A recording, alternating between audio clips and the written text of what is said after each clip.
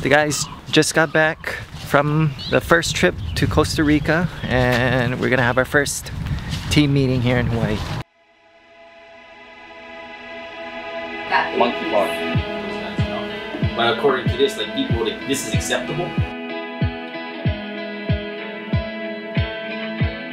I think everyone's here now. James got to go on the trip, so he's helping with the presentation tonight. Yes, sir. Can you boys see my screen? The company meeting? Yes. You can? All three of you? I see, you okay. Alright, I see Daryl. them, I listen. Daryl, can you hear me? Yeah? Okay, cool. I'm afraid yes. I'm afraid yes. So as I was uh, praying for uh, for a meeting uh, right before I came here, I got a verse over there uh, that says, um, "Blessed be His glorious name forever, and may the whole earth be filled with His glory." Amen and amen. That's from Psalm 72, 19. Uh, so Heavenly Father, we just give you praise and glory for the things that uh, you're doing in our lives, the things that you're doing in our partners' lives in Costa Rica and, and the entire country, uh, and therefore the entire world. Uh, we lift up this meeting to you, Lord, so we glorify your name in everything that we do, and may your name be glorified as a result of our efforts, as a result of our love for you, Lord. Uh, strengthen us, uh, each individual, and strength, strengthen us as a group, as a team, that your name will be glorified in all the earth. Uh, we lift up your name in the name of Jesus. Amen. Things you guys are doing? That's right. What are your thoughts? Yeah, extremely excited. I think uh, there's an incredible amount of uh, impact that we can do in the life of uh, a lot of people. And uh, as long as uh, Christ is preached and the good news is uh, going throughout the world, it's uh, you know everything to, for His glory. So we're excited to see uh, what He's going to do in uh, in our lives and uh, in the life of others. That's uh, super exciting.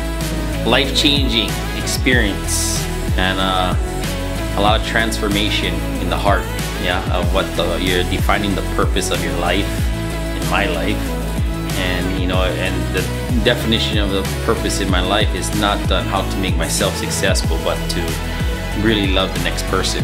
Yeah, and really be uh, responsible to be able to find some um, to help the next person be successful. You know, through this journey. So, giving the opportunities to make sure people have a future, have security in a place of no hope.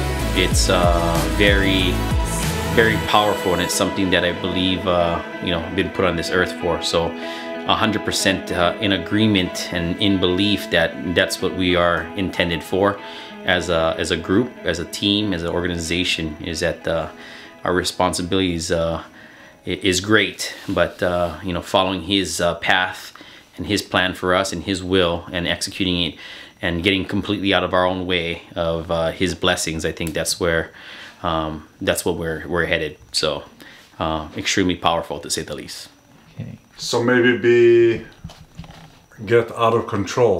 yeah Yeah.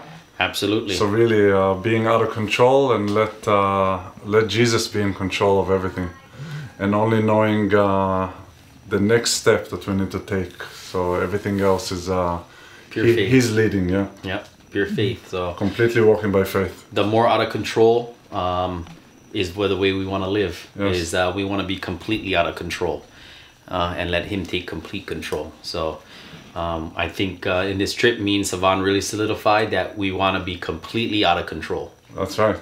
yeah You're out of control, your bag is open. oh that's there we go Hope you enjoy following us on this this new new adventure or task we've been given. yep.